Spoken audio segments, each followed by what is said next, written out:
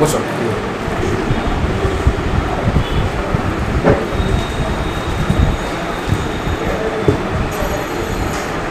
রাহুল, বলো। নিজের সম্বন্ধে কিছু বলো। স্যার, আমার নাম রাহুল ঘোষ। আমি পূর্ব বর্ধমান জেলার জামালপুর থানার অন্তর্গত হেরাওড়া গ্রামের থেকে আসছি। এবং আমি দু হাজার পনেরো সালে মাধ্যমিক এবং দু হাজার সতেরো সালে উচ্চ মাধ্যমিক পাস করেছি। তারপর আমি স্যার গ্র্যাজুয়েশন করছি আমার কলেজ বাংলা বিভাগে। আমার বাবার সঙ্গে আমি চাষবাসে সাহায্য বাংলা অনার্স করেছ? জোরে বলো। না অনার্স নয় স্যার পাশে। বাংলা ছিল তোমার পাশে আর কি ছিল সাবজেক্ট স্যার বাংলা আর আমার সংস্কৃত। বাংলা সাবজেক্ট তুমি সংস্কৃতের শ্লোক বলতে পারবে? হ্যাঁ, স্যার। বলো। স্যার আমি একটা গীতা স্তর করেছি উৎসবে বসনে চৈব দুর্ভিক্ষে রাষ্ট্র বিপ্লবে রাজোদ্ধারে শ্মশানে চ যত সব বাংলা মানে কি দাঁড়াচ্ছে স্যার উৎসবে আনন্দের দিনে এমনকি দুর্ভিক্ষে রাষ্ট্রের বিপ্লবে রাজোদ্ধারে বা শ্মশানে যে থাকে সেই।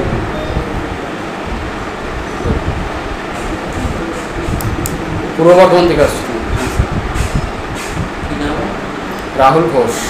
রাহুল তো তুমি আজকে ইন্টারভিউ দিতে এসেছ পশ্চিমবঙ্গ পুলিশ কনস্টেবল যদি ধরো এই চাকরিটা পাও তাহলে তোমার মায়ের প্রতি কি কর্তব্য হবে? স্যার আমার মায়ের প্রতি কর্তব্য মাকে যে সমস্ত দেখাশোনার ব্যাপার থাকে সেসব তো আমি করব আর প্রথমত আমি আমার মাকে চাকরিটা করে প্রথম মাসের মাইনে থেকে কাপড় কি একটা কিছু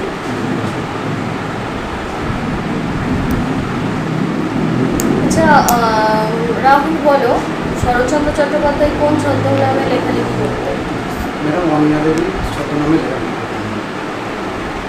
কালকুট ছদ্মনামটা কার ছিল? কালকুট স্যার সমরেশ বসু।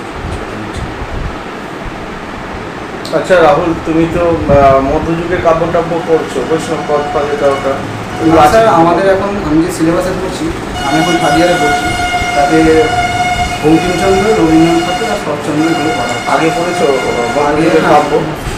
আচ্ছা ধরো এই যে পূর্ব বর্ধমান জেলা আমরা আমাদের জেলা এই জেলার তে জন্ম হয়েছে কীরকম মানে কিছু প্রাচীন কবি এবং তার পরবর্তীকালে যদি কিছু নাম তোমার মনে পড়ে একটু বলো। হ্যাঁ স্যার ষোলো শতকের কবির কিছু নাম মনে আছে আমার। শতক বলতে হবে না জাস্ট শুধু নামগুলো বলো আমরা একটু শুনি। মুকুন্দরাম চক্রবর্তী বৃন্দাবন দাস ও কাশিরাম দাস। আর এমনি পরবর্তীকালে যে কবিরা। পরবর্তীকালে স্যার রাজশেখর বসু আছে। এরা সবাই পূর্ব বর্ধমানে। আচ্ছা রাহুল তুমি পূর্ব বর্ধমান। তোমার সাব ডিভিশন কোনটা? আমাদের স্যার সাব ডিভিশন বর্ধমান সদর দক্ষিণ। আচ্ছা বর্ধমান সদর দক্ষিণ। তাহলে তোমার দক্ষিণে যদি সদর হয় তোমার থানা কোথায় পড়ে? স্যার আমাদের থানা জমা জামালপুর থানা। তাহলে তোমাদের কি এসডিপিও থাকে না ইয়ে স্যার থাকে? এইচডিপিও এসডিপিওর নাম কি? আমাদের এইচডিপিওর নাম হচ্ছে আমিনুল ইসলাম। আচ্ছা। তোমার থানা জামালপুরি হ্যাঁ। থানার ওসির নাম? অরুণ কুমার সোম মহাশয়। আচ্ছা। পুলিশের মটো কি? পুলিশের মোটো হচ্ছে আমাদের বেঙ্গল পুলিশের মোটো হচ্ছে উই কেয়ার উই কেয়ার তুমি পুলিশে কেন ভর্তি হতে চাইছো? এত সব রয়েছে। প্রথমত বর্তমান যে চাকরির পরিস্থিতি তাতে আমি মনে করি পুলিশের আমার যা শারীরিক বা মানসিক যে দক্ষতা সেটাতে আমি পুলিশি চাকরির ক্ষেত্রেই আমি এই যোগ্যতাটা আমি কাজে লাগাতে পারব। তাছাড়া দ্বিতীয়ত পুলিশের প্রতি আমার ছোটোবেলা থেকেই একটা মানে স্বপ্ন ছিল পুলিশে চাকরি করার প্রতি। আর সেই থেকেই আমি প্রস্তুতি নিচ্ছি তো ছোটবেলা থেকে স্বপ্নটা মানে ছোটবেলা থেকে কোন সময় থেকে তোমার স্বপ্ন? স্যার মোটামুটি জ্ঞান হওয়ার পর থেকেই আমার পুলিশে চাকরি মানে তুমি যখন জ্ঞান হলো মানে তুমি যখন জন্ম হলো তখন থেকে তুমি ভেবে নিলে তখন তোমার জ্ঞান ছিল।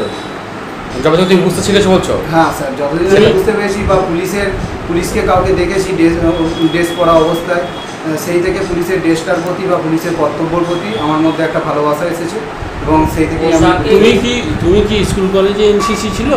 হ্যাঁ স্যার আমি ফার্স্ট ইয়ারে এনসিসি নিয়েছিলাম কিন্তু আমার একটা অ্যাক্সিডেন্টের জন্য আমি এনসিসিটা ছাড়তে বাধ্য কি হয়েছি অ্যাক্সিডেন্ট আমার স্যার বাইক অ্যাক্সিডেন্ট হয়েছে আর যার ফলে আমি বহুদিন এনসিসির মধ্যে যুক্ত না থাকার কারণে ওরা আমাকে যখন তোমার অ্যাক্সিডেন্ট হয়েছিল তখন তোমার লাইসেন্স ছিল? না স্যার লাইসেন্স ছিল না আমি পেছনে বসেছিলাম। আমি চালাচ্ছিলাম বসেছিল। তোমার পঞ্চায়েত এরিয়া তো হ্যাঁ তো ভিডিওর নাম কি? ভিডিও? স্যার আমাদের ভিডিওর নাম শুভঙ্কর মজুমদার মহাশয়। আচ্ছা সিআই কে থাকে আমাদের সিআই আছেন শ্যামল চক্রবর্তী মহাশয়। আচ্ছা আর এসডিও আমাদের এসডিওর নাম হচ্ছে সুদীপ ঘোষ মহাশয়। ঠিক আছে রাহুল। চলো থ্যাংক ইউ বসার একবার ফিডব্যাক দাও তো ওভারঅল ঠিক আছে। তোমাকে প্রথমে দিকে তুমি একটু আসতে বলছিলে এখনগুলো ঠিক ছিল মানে একটু তোমাকে জোরে বলতে হবে একটু, যাতে তোমার কনফিডেন্স লেভেলটা প্রকাশ যে না, সেটা কনফিডেন্স আছে। একটু হাসি মুক্ত রাখতেই হবে, নাহলে খুব সিরিয়াস লাগবে ব্যাপারটাকে। হ্যাঁ সবগুলোই টেন্সের সঙ্গে সম্পর্ক। তুমি বললে মানসিক দক্ষতা। ব্যাপারটা কি বলছো মানে তোমাকে ওখান থেকে আর ক্রস করতে পারে? কী মানসিক দক্ষতা মানে তুমি কী বলতে চাইছিলে? স্যার মানসিক যোগ্যতা বলতে যে পুলিশের চাকরির প্রতি আমার যে মন থেকে একটা ভালোবাসা আছে মানসিক প্রস্তুতি বলতে পারো। আমি প্রস্তুত রয়েছি মানসিক।